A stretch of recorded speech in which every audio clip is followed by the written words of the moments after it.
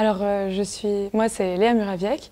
Euh, je suis autrice de bande dessinée et je suis l'autrice de la bande dessinée de Le Grand Vide, parue aux éditions 2024. Je suis aussi un peu éditrice euh, chez les, la maison de micro-édition Flûtiste. Alors, en fait, la première idée qui m'est venue, c'était que j'avais envie de raconter une histoire qui, enfin, une histoire euh, dans laquelle les gens meurent si on les oublie. Ça, c'était vraiment le point de départ. C'était un moment où euh, je lisais euh, de la, de la, des récits fantastiques. Enfin, je lisais Fiction de Borges, L'invention de Morel de Bioy Cazares et, et j'avais vu The Lobster au cinéma de Yorgos Lanthimos. Et tout ça mélangé, ça m'a donné envie d'écrire une histoire à concept.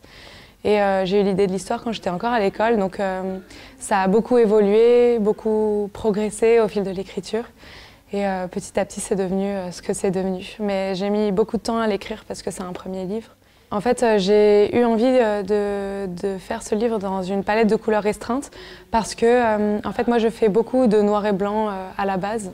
Et j'en fais même principalement parce que je viens du fanzine, de la micro-édition. Donc imprimer en noir et blanc, c'est moins cher. Et c'est aussi beaucoup de mes lectures, euh, parce que je lis beaucoup de mangas, parce que euh, je lis aussi euh, pas mal de BD dites alternatives en bande dessinée occidentale, comme des BD de l'association, même certaines BD de 2024, qui sont en noir et blanc. Et c'est quelque chose qui me parle, moi, en tant que dessinatrice. Et, et je suis pas encore très à l'aise en tant que coloriste, donc pour moi, c'était une façon de faire de la, de la, couleur sans en faire, sans trop me fatiguer non plus, et sans avoir à devoir enfin, découvrir un peu euh, comment on fait une BD sur le tas euh, en faisant la première et puis en devant aussi euh, galérer à faire la couleur. Voilà, c'était une sorte de compromis. Alors, euh, j'ai pas spécialement voulu dénoncer les dérives de la société ou parler des réseaux sociaux en particulier. Je pense que c'est des, une des thématiques de mon livre, c'est-à-dire que moi, j'ai surtout eu envie de parler de la mémoire, de, euh, du sens de l'existence, mais qui passe aussi à travers le regard des autres, en fait. Et euh, bah, quand on parle de regard des autres sur nous, aujourd'hui, on a du mal à parler d'autre chose que des réseaux sociaux. Et moi, j'avais envie de m'extraire un peu de ça. C'est aussi pour ça que j'ai fait attention à ne mettre quasiment aucune technologie dans mon, dans mon univers. C'était pour euh, rendre un peu cette image plus métaphorique, en fait, pour qu'on puisse y voir aussi autre chose. Parce que je pense que parmi la pression de devoir être sur les réseaux sociaux, c'était quelque chose que je ressentais en tant qu'artiste, en tant qu'autrice de BD. Et euh, je me posais des questions par rapport à quelle image donner aussi de moi-même en tant que professionnelle, sachant que c'est un métier à part entière. Et donc, euh, toutes ces questions mélangées qui étaient aussi en partie liées aux réseaux sociaux, mais aussi à la pression sociale en général, des questions que je me suis posées il y a 5-6 ans, en fait, en tant que jeune adulte, qui se pose des questions sur sa place dans la société, sur les pressions sociales, auxquelles on répond parfois, auxquelles on, qu'on ignore euh, d'autres fois. Donc euh, c'était quelque chose d'assez mélangé. Puis un thème autour de la mémoire aussi, qui est lié au fait de faire des œuvres, en fait, de faire des livres qui, qu'on réalise et qu'on laisse en fait dans les mains d'autres personnes et qui nous survivront peut-être à notre mort. C'était pas, mal de réflexions comme ça, mais c'est vrai que je pense que le besoin aussi de reconnaissance, il est profondément humain. C'est quelque chose qui existait avant les réseaux sociaux, à la télé, voire dans les journaux avant, ou euh, même dans des cirques, euh, dans des spectacles. C'est quelque chose, je pense, qui, qui, est très humain.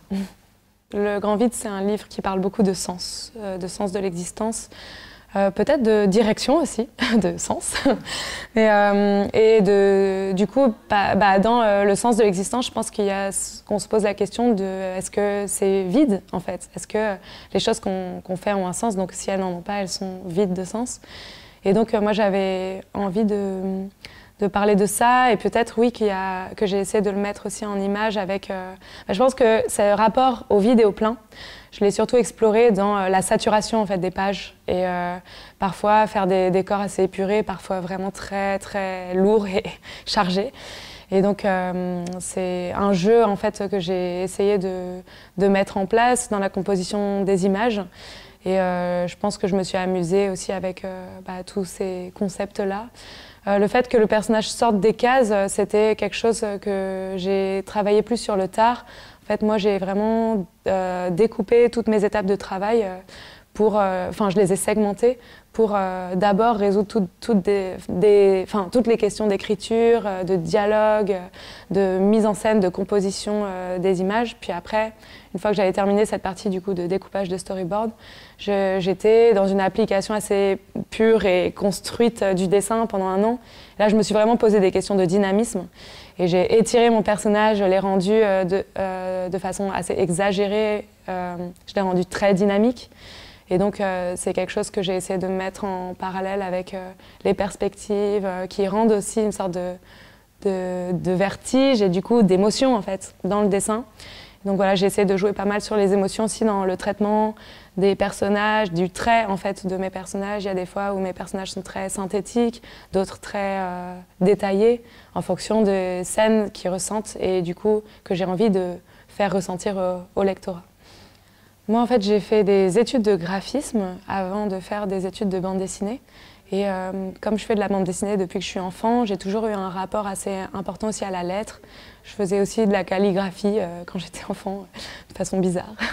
Et euh, du coup, c'est quelque chose que j'ai toujours aimé faire et j'ai trouvé en fait le moyen de l'intégrer dans mon livre. Par exemple, le principe que les gens meurent si on les oublie, il n'était pas initialement lié au nom et au prénom des personnes, c'est venu plus tard. Et quand j'ai eu cette idée, je me suis un peu jetée dedans parce que j'aimais beaucoup le lettrage et je me suis dit que ça me plairait beaucoup de passer mon temps à écrire, à faire de la calligraphie en fait. Et ça, c'est très important quand on fait de la BD, c'est qu'on est obligé de représenter avec des images notre histoire et on construit un univers visuel en plus de construire un univers narratif. Et donc, euh, j'ai senti que si j'allais avoir du plaisir à le faire, ce serait sans doute euh, communicatif. Et donc, euh, j'ai tout, le lettrage, en fait, y compris le lettrage dans les bulles des personnages, est fait à la main sur les planches. Moi, je suis très tradie dans, mes dessins et donc je travaille entièrement sur papier, à l'échelle du livre. On a gardé l'échelle du livre. Et, du coup, pour avoir un aperçu plutôt fidèle, je pense, euh, du livre euh, tel qu'il serait imprimé dans, dans, nos mains euh, une fois terminé.